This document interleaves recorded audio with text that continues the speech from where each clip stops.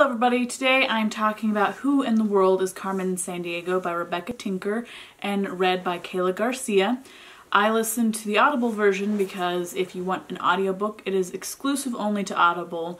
There are books available that you can buy at your local bookstore if you just want the printed copy, but if you want to listen to it, only available through Audible. So this is a pretty short book about four and a half hours listening time and it pretty much details everything that you would see if you watched the first two episodes of the new Netflix series. So depending on what you're interested in, if you have kids that liked the show and you want to get them to read, they might enjoy reading that or you might want to have them read it first and then watch the show. It just kind of depends. It's enjoyable for kids and adults, I would say, if you kind of are like me and have the nostalgia of the old Carmen Sandiego. It was interesting. It was a good read.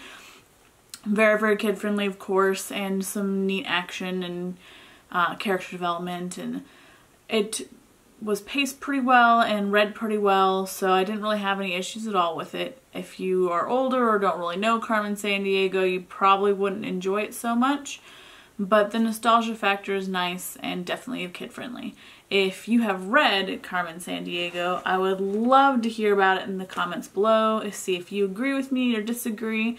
If you think there's something else I need to add to my list, please let me know that as well. I'm always adding and hopefully uh, completing and knocking things off that list more often than not. So we'll love to hear from you next time. See ya.